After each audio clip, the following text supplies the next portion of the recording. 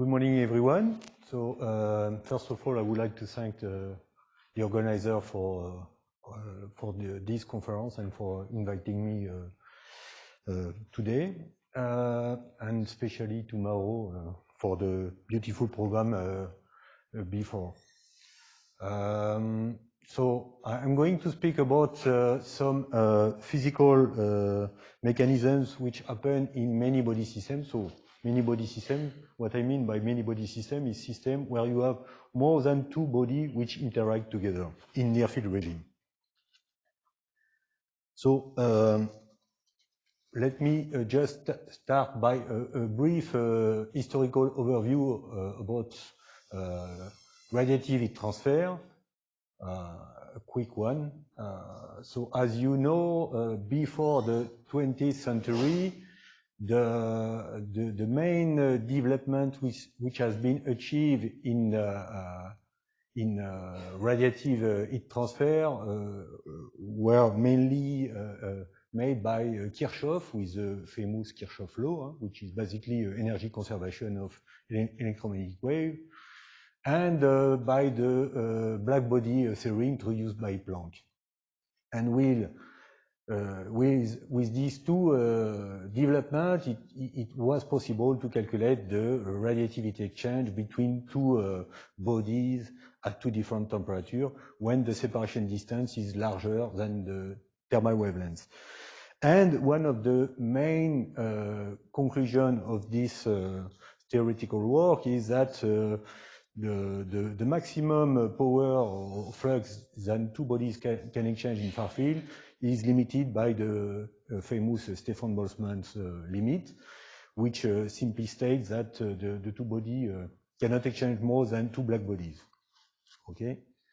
So, uh, as discussed before by Pramod, in 1969, Hargreave has made an experiment between two chromium samples with respect to the separation distance. So, the, the distance in x-axis and he has observed a drastic increase at a distance which, which, which is smaller than thermal wavelengths. But at that time, it was not clear what happened exactly. And it is uh, Polder and Van Hove who has uh, introduced the theoretical formalisms to describe this uh, uh effect. And, uh, and uh, this, this enhancement is simply due to the presence of evanescent wave and the tunneling of non-propagative photon from one body to the other. So, uh, and then thanks to the, uh, this new, uh, to this supplementary channel of heat exchange between the two bodies, it is possible to go beyond the black body limits. So as mentioned before by uh, Pramod, since uh, this uh, pioneer experimental work, Many other experimental proof has been done since then, so probably I have forgotten some of them here, but there are more than 20 experimental proof of uh, this uh, behavior in near field regime. So, uh, in at the beginning of in in 2011, we have tried to think about what happened in a system where you have not only two body but more than two body, and we have first developed the theory to consider heat exchange between small bodies. So in that case, we can make a dipolar approximation. And, uh, and after that, uh, many, many uh, researchers have developed this uh, work to consider also uh, large bodies and uh, several bodies. A lot of development has been done so after after this work, and an important result that an important specificity of many body system is that there is a non-additivity of flux.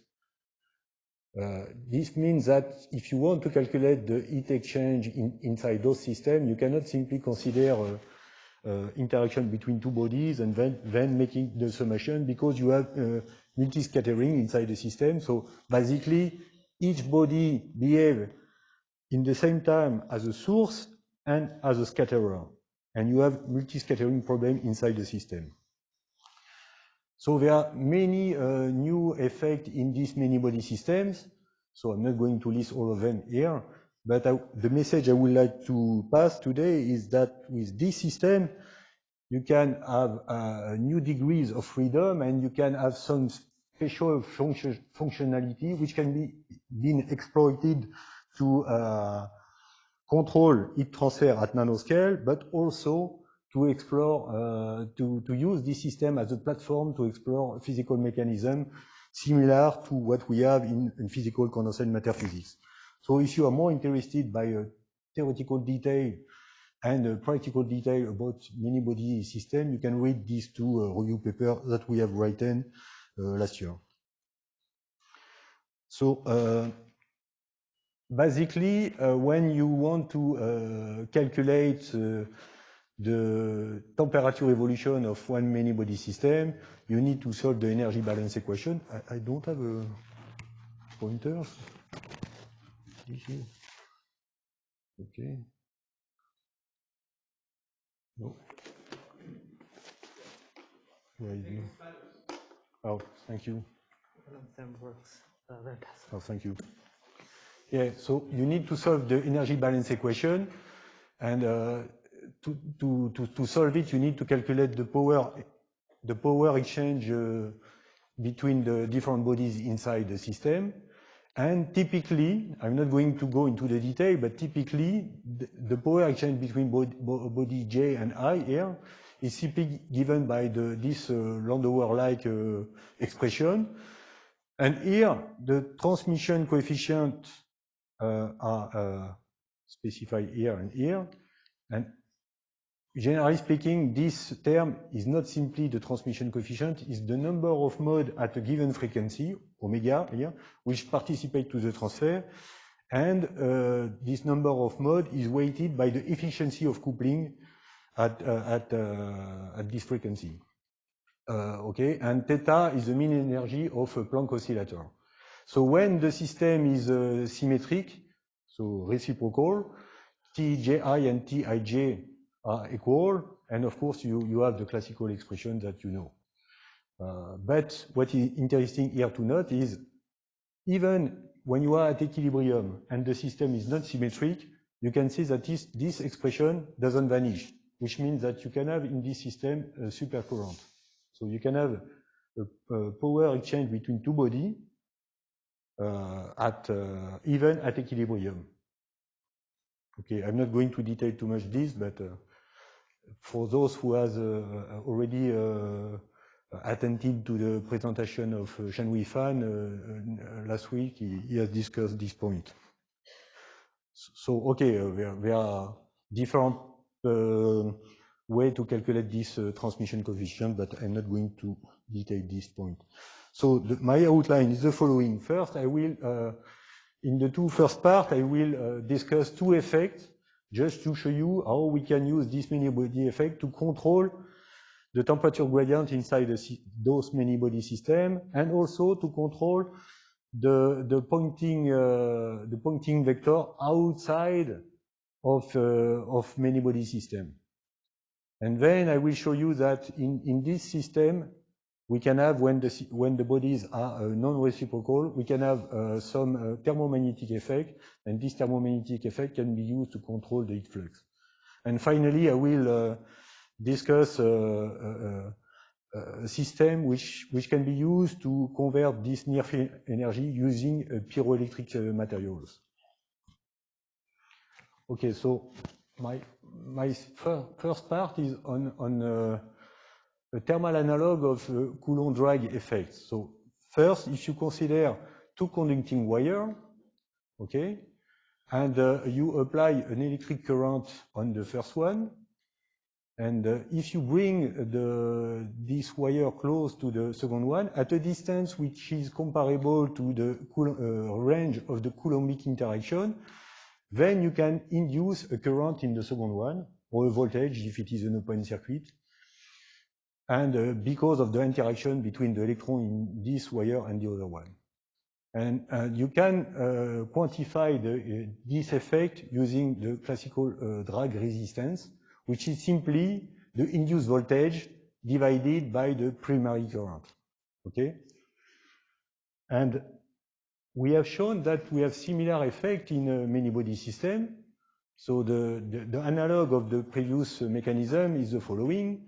So you have, a, let's say, a set of particles here, and you uh, uh, put the first one and the last one of this line in contact with two reservoirs, so at hot and cold temperature, and you bring a second set of particles close to this one.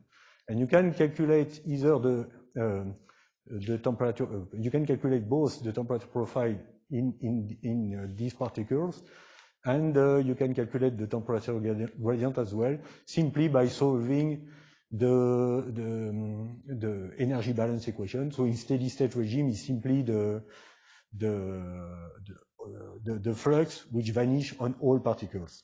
Okay, so if you do that, then you can calculate uh, uh, radiative um, uh, thermal photon drag, which is simply the equivalent of the electric one, which is simply given by the ratio between the, uh, the temperature gradient here and the uh, primary flux, which is simply the heat flux along this uh, line.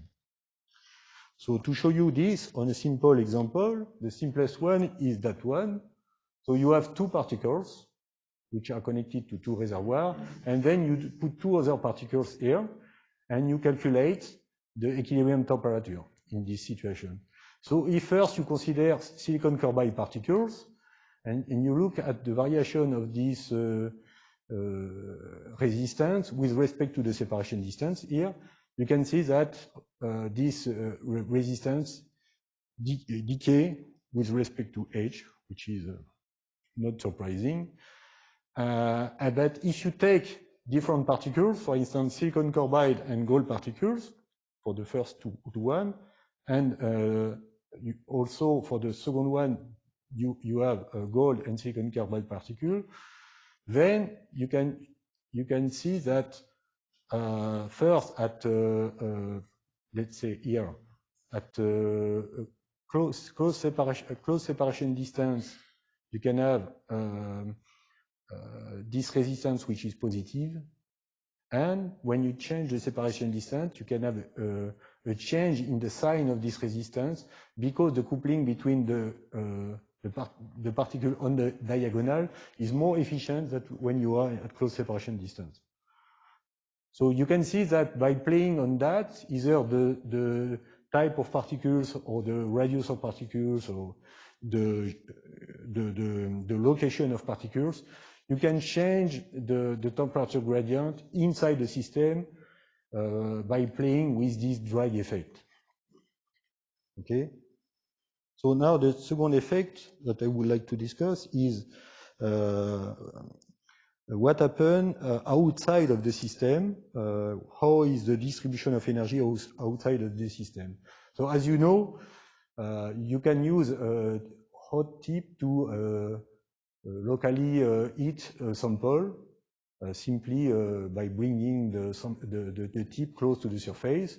And this has been used in many experiments. And also, this mechanism has been exploited to heat up locally a magnetic material and to make heat-assisted magnetic recording. So you can locally change the states of magnetic material to uh, record uh, information. And what I want to show you now is that by playing with a many body system, we can uh, have also a better control on, uh, on this Poynting vector outside of a many body system.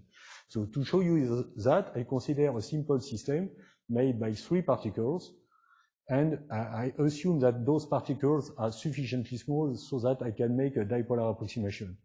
So I can replace these particles by simple, simple di dipoles, okay? fluctuating di dipole. So as you know, we can calculate locally the electric field, which are related to this dipole, simply with the uh, full green tensor in, in the system. And you can also add the contribution of external mass. So using this, you can calculate, and the same expression for the magnetic field, you can calculate the Poynting vector, so I skip the detail. And finally, with that, you can, for all components of the green tensor, you can express them in terms of two, two, two terms. One which, which correspond to the multi-scattering process. in, in, inside the system, and one which is uh, which depend on the temperature of all particles. So you can see that you can weight the multi-scattering by the, the temperature of the particles. And this is a, a specificity of those systems. You can play on the temperature to control, to sculpt the, the, the Poynting vector outside of the system. So on this example, I show you when you, you have three particles, and I calculate the uh, z, z component of Poynting vector on, on this plane uh, when the particles are first at the same temperature. And you can see that uh, here, here is for different opening angle uh, between the particles. And you can see that basically, in this case, the, uh, the, um, um, the, the, Poynting vector is pretty broad. And if you look at the mapping of Poynting vector around the particles, you can see that it flows uh, uh, outward. Okay? But if you look at the situation where you have the two uh, particles on the top, which are at higher temperature than the uh, bottom particles, in this case, of course, you can increase the magnitude of uh, Poynting vector, but it is uh, obvious because the temperature are not the same. But what is interesting is that you can reduce the, the width at, at uh, half um, maximum here. And if you look at the mapping of Poynting vector, you can see it's not really clear here, but you can see that you have like a funneling effect here, which tend to uh, focus the flux uh, below the, the, bottom particles. And this is a specificity, uh, this is due to the fact that the temperature are not the same. When the temperature is the same, you have a similar effect like, like here. So the first thing is by playing on the temperature, you can also control the, the Poynting vector.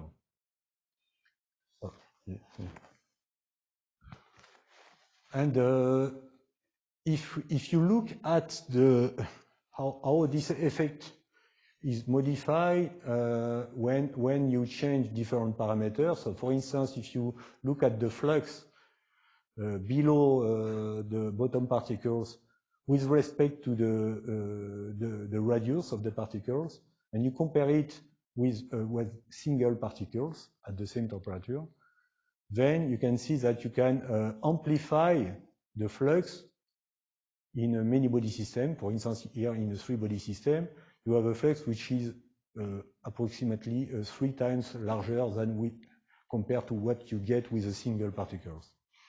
The second thing is, as I say before, you can make the focalization much uh, much higher than with uh, compared to a single particles. And here it's what I show also it is the, the, the width at uh, half maximum divided by the radius of particles. And you can see that you can drastically increase the focalization of flux because of that. Okay. Now I move to the uh, my third part, which is uh, now I, I, consider a system made with uh, magneto-optical particles under the action of one external magnetic field. So, and uh, basically, in this case, if I come back to the energy balance equation, no, it's okay. Energy balance equation uh, here. Uh, in, in this case, the, the conductance matrix in, in, in this uh, situation, where, where I just consider three uh, particles, is a non-symmetric matrix because the material, because in this case, the transmission coefficient are not symmetric. Okay? And the fact that uh, these transmission coefficient are not symmetric imply that the conductance matrix is non-symmetric as well. And this gives rise to a new mechanism that I, am going to discuss some of them here. Uh, and uh, this is interesting to explore uh, interesting mechanism like the supercurrent I have mentioned before and uh, also some new thermomagnetic effect. So the effect I'm going to show now is the existence of one thermal Hall effect in these uh, systems. So as you know, uh, when you consider uh, a metal uh, and, and uh, you apply you apply a transversal uh, magnetic field. Oops, doesn't work anymore. Okay, you apply a transversal magnetic field. Then you can observe uh, also a current in the transversal direction due to the presence of the Lorentz force, which bend the trajectory of electron inside the, the, the, these metals. And this is a well-known uh, Hall effect. So there is the equivalent thermal effect, which is basically the same. You just apply a temperature gradient apply also magnetic field, and uh, you, you can observe in, in this system a, a lateral uh, temperature gradient because of the same, basically, mechanisms. What is more interesting is uh, in, in 2000, 2005, a similar Hall effect has been observed in a, in a system without free charge, which was a bit surprising because there is no Lorentz force in this case, but uh, what has been shown a little bit later by, by a theoretical group is that uh, in this system, when you apply a magnetic field, you can uh, modify the scattering function for a phonon, and you can uh, break the symmetry in the scattering function of the phonon, and that's why you can also observe a Hall effect in, in this system, even without the presence of uh, free charge. And we have also shown an effect without a free charge, which is a purely radiative effect. And to show you this effect, I just show you here a, simple system made by four I, uh, particles of uh, INSB that I put uh, them on at the corner of one uh, regular square. And I uh, first consider this system without magnetic field and I apply a temperature gradient between this particle 1 and particle 2, okay?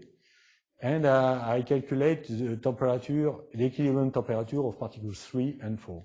Without magnetic field, uh, the dielectric permittivity of INSB is, is, is, given by a diagonal tensor. In this case, the, the, the particles are uh, completely isotropic, and the permittivity is just given by the, this expression, okay? And since it is isotropic, in this case, there is no difference between the particle 3 and particle 4. And if you calculate the equilibrium temperature in this case, they are the same. And there is no Hall effect. If you now apply a magnetic field, a transversal one, so in the same situation, when you have this uh, temperature gradient here, then you break the symmetry in the system. And if you, uh, if you uh, look in, the, in this case, what is the permittivity tensor is not diagonal anymore. It's become anisotropic and also uh, the uh, non-symmetric.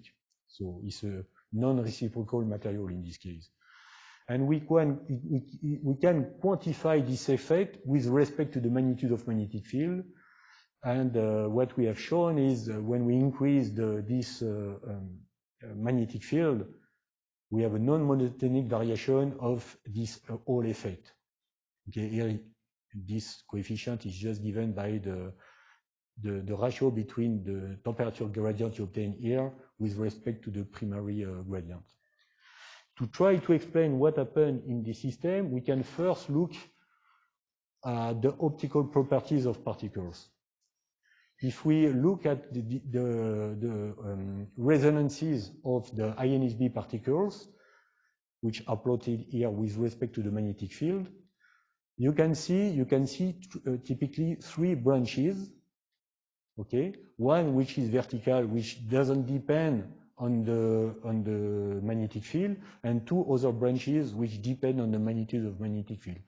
And the first one is the classical resonances you have in a particle, which is simply given by the usual expression. And the two other branches are very specific uh, to uh, magneto-optical material, and they depend on the magnetic field. Okay? And what I shown here is uh, this uh, dashed curve, which corresponds to the Planck function at a given temperature. And I ju just want to show you that by changing the temperature, you can you can uh, change the contribution of mode which participate to the transfer. Okay, and that's why you observe also different behavior when you change simply the temperature.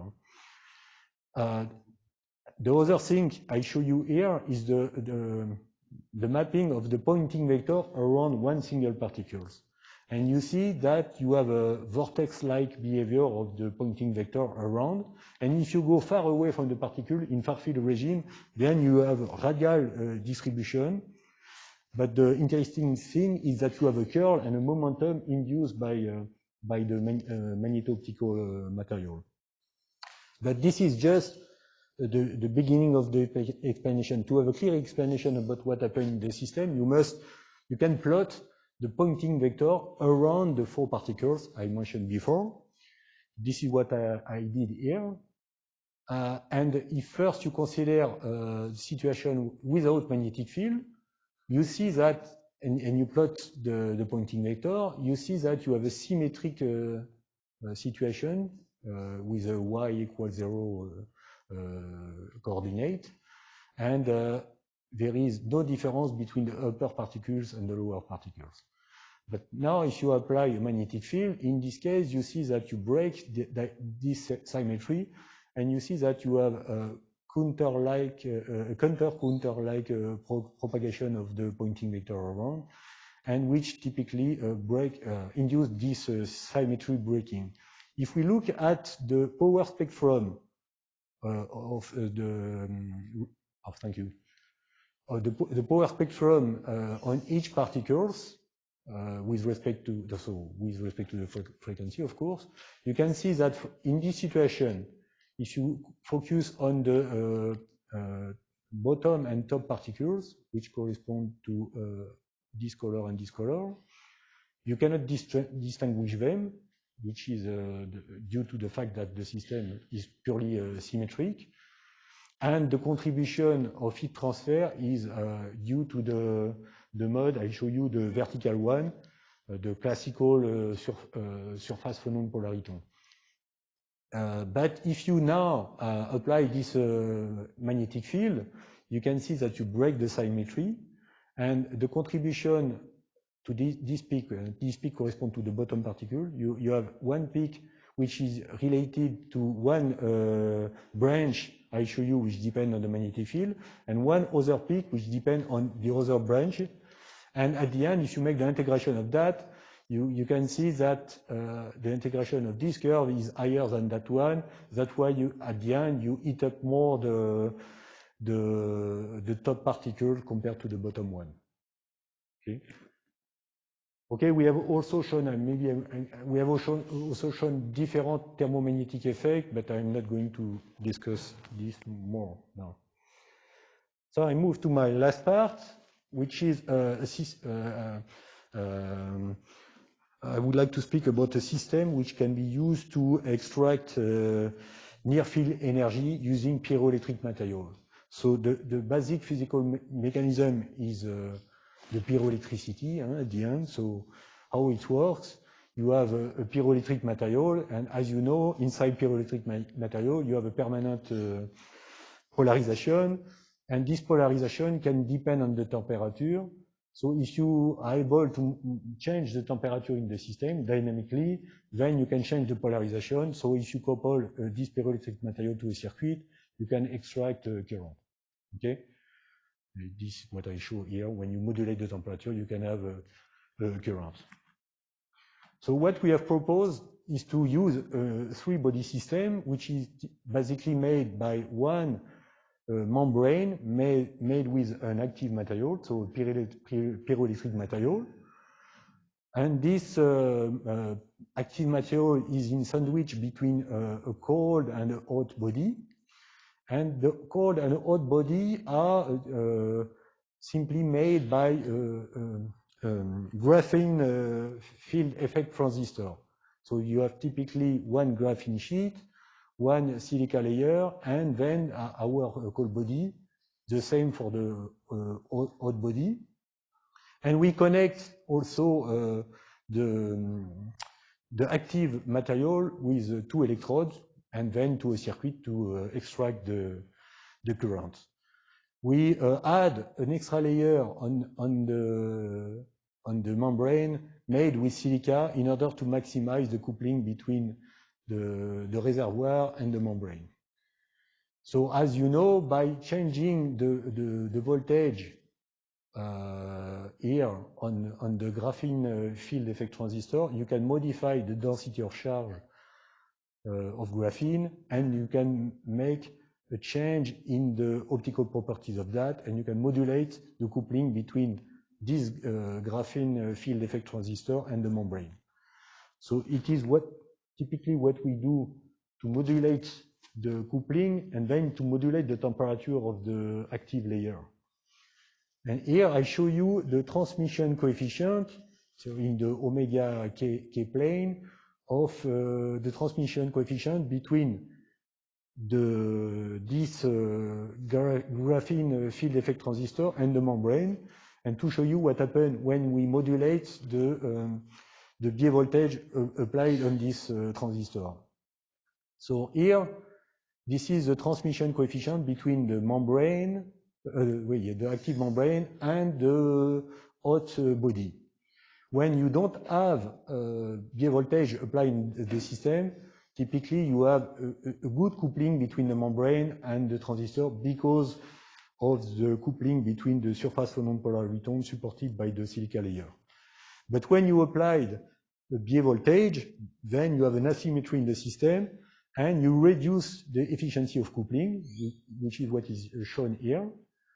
And you can alternatively modulate the upper side and the lower side so that you can, you can uh, in, in, uh, for a certain uh, period, you can uh, increase the coupling with the hot body and for the other period, increase the coupling with the cold body so that you can have a modulation of the temperature of the membrane.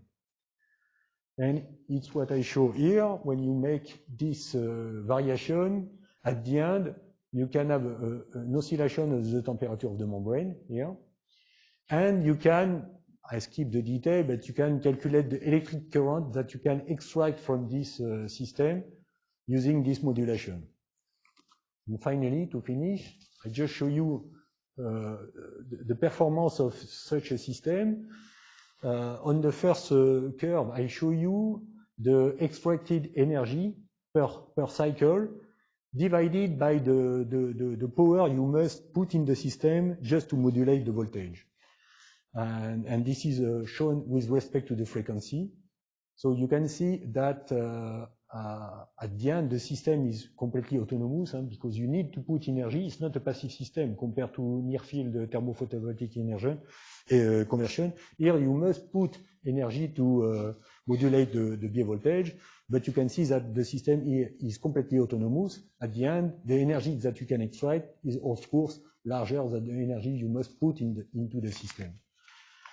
And if we uh, try to uh, calculate the power which is generated in, inside this system, it is order of magnitude larger than the uh, NTP, current NTPV device at the moment. Huh? And another thing is that the efficiency of the system is comparable with what you have typically in pyroelectric devices. Okay, so now I'm, i would like to finish by acknowledging uh, work with my collaborators, spe specifically Age, uh, and uh, also the student who has worked on that, Annika Ott and Ivan Latella, and thank you for your attention. Thank you, Philippe.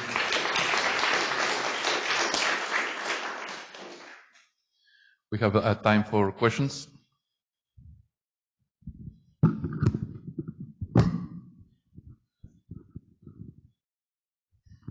Thank you for the talk. Uh, for the first part, when you spoke about the drag effect, um, I just wonder, uh, you made this nice comparison to Coulomb drag. So what is the temperature dependence of this drag coefficient, at, say at lowest temperatures? The temperature dependence on, on, the, on the drag. Say it again. The, the, top, uh, the temperature dependence of what? Of thermal drag resistance as a function of temperature, let's say at lowest temperatures. It really depends on the system you consider, so I have no general uh, answer to that. Uh, it really depends on the system you consider at the end. Uh, but let's say for the system that you considered. But in the example I show you, but -huh. it's the simplest one, that one, at the end, you see that uh, you, you, see the delta t here. the delta T I got at the end is, is pretty small. Yeah, this is the delta T, the temperature difference. Is what you mean uh, when you, when you No, drag resistance depends on temperature, right? For Yeah. two layers. So let's say in your example for wires or 2D planes. Yeah. Uh, so let's say the T square at lowest temperatures and so on. So what if I would compare to thermal drag? How th- does that translate? Uh, in, in this example, it's pretty small the dependence with respect to the temperature. You, you see that the, the temperature in the, the gradient which is induced in these uh, Yes. two particles is, is pretty small. You see the value. But here? I'm not asking about the induced gradient. I'm just asking you at the temperature dependence at the given temperature. Right? Your definition is delta T over the current that you But I inject. don't And work, this is, yeah, but I don't work at a given temperature. I apply a temperature gradient. Okay? yes. So it's not a one temperature, it's a temperature gradient. So I have a delta T Yeah, here but already. this is temperature gradient then- relative to something, correct? Like uh, a linear response. No, no, but here the only assumption I made is that this temperature gradient is not large, Uh-huh. but uh, I Okay. Uh, we can discuss. But uh, there is no one given temperature. I cannot say No, I okay. the understand that. resistance- uh-huh. Yeah. Uh, Philip, very nice talk. I have a question about your last part of your talk. Uh, you mentioned this uh, pyroelectric idea will have uh, a power that's uh, orders of magnitude larger compared with a near field TPV. Uh, given that both of these effects relied upon uh, photon transfer, uh, why would the power of this setup be much larger than near field TPV? Ah, first, here in, the calculation I made, it's at very close separ- separation distance. Because I play with the coupling with the graphene, and then you can you cannot work at very large separation distance with with the graphene because uh, in this case there is no real effect on the coupling. So here the separation distance between the membrane and the upper and lower material is 20 nanometers. So basically, at this distance, the heat flux is much larger than what you typically have in a NTPV device at the moment. The- But the second thing is, uh, we are only limited here, the the the the important thing is, uh, we can work at very high frequency. So each time we we increase the frequency, we increase at the end the the energy uh, we can produce, because per per cycle, we have one uh, a certain amount of energy we produce. So if we can increase a lot the the frequency, then we can increase drastically the the production of uh, of electricity. And on on this uh, on this curve, I I try to to make a comparison between uh, our pyroelectric system and an NTPV system. At the end, it's not the same material, but at least with the same distance and using InSb uh, or InAs for the cell, we have made a comparison here on this curve. And you see that uh, at, at, uh, for the same temperature difference, we have uh, much more uh, uh, production of electricity in, in that case. I cannot say that generally speaking is true, huh? but at least in, the, in this situation, we can increase more. Yeah, just a short comment on the uh, non-symmetric nature of the conductivity. Uh, This is due to the Onsager relations. Uh, uh, In the Onsager relations, uh, this is what happens in the Righi-Leduc effect. It's it's a similar. So the heat conductivity, when you apply a magnetic field, the G of B has to be minus G transpose of minus B, right? So the- it fulfills, although it's not symmetric, it fulfills a symmetry if you invert the, the magnetic field. These are the so-called Onsager-Casimir relationships. Alors, uh, I think there are two things. Uh, I, I, I think the explanation I have given for the asymmetry. Uh, No, no, no, that's okay. That's, I mean, I wanted to, to tell you but so- you- that is an yeah, the- you- you- analogy with that. uh, yes. Uh, I didn't think about that, but It's exactly the same what happens with a Righi-Leduc effect, but in that effect, what is symmetric is the, the um, thermal conductivity. Yeah. But it's the same, the same uh, result uh, if you apply it Onsager relationships. I think you should have uh, a cross effect also uh, in, Yeah. in, in this case, yes. Okay, thank you. But uh, thank you for the comment. Yeah, so my question is with this, uh, I'm a bit confused about these heat flux equations. So I think actually one of uh, Shanhui Fan's student also had this about persistent heat flux. And uh, you also showed a picture about uh, when you apply a B field, the uh, heat flux go, goes around in a circle. Um, so the way like the Poynting vector is derived is that you start from E dot J and you integrate over a closed volume, right? So, but it seems to me, according to all these pictures, like even if there's this swirling, eventually when you actually integrate over a closed surface, all those contributions just go away. So like, uh, is there actually something measurable or, you know, a physically like uh quantity that you can calculate where, like mathematically, yeah, qualitatively, the picture seems to change, but uh, when you actually do an integration, it also contributes. So if you are talking about the supercurrent, for instance, huh, which was you also your first point, at the end, if you if you make a summation over all particles, because I say that uh, uh, when you have asymmetry uh, in the transmission coefficient, you can have a power exchange between the two particles, okay? Because Tij is not equal to Tji. But if you make a summation over all particles, then at the end the flux equal to zero. I mean, there is no uh, net contribution on each particles.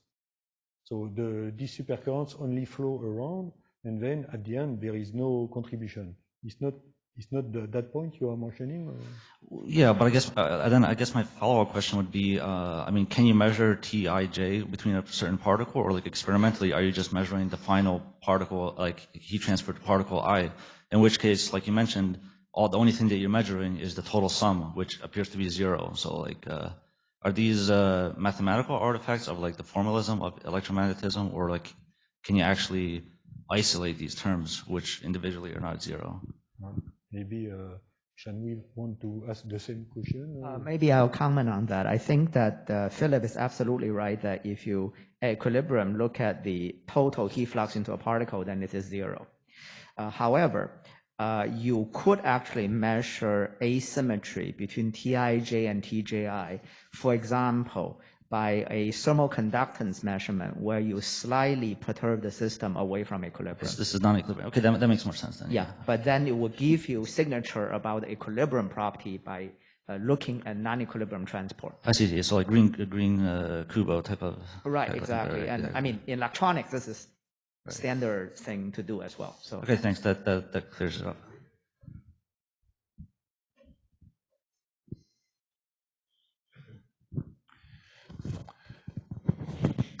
Any more questions?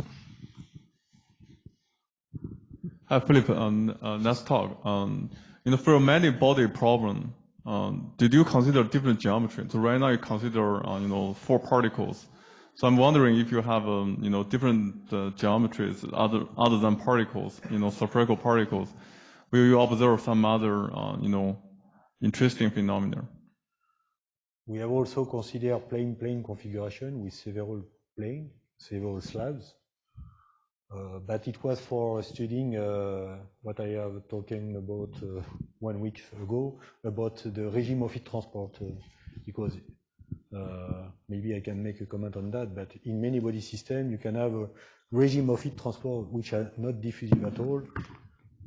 We have studied that with, with, uh, but apart particles and, and slabs, we didn't work on other geometric.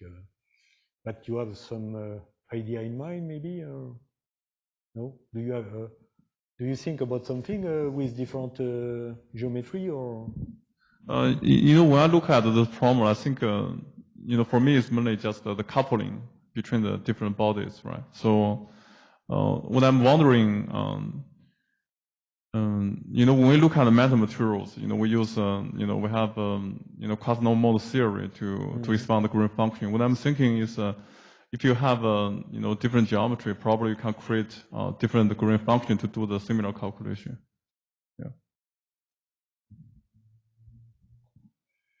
Let's uh, thanks Philippe again and the rest of the speakers.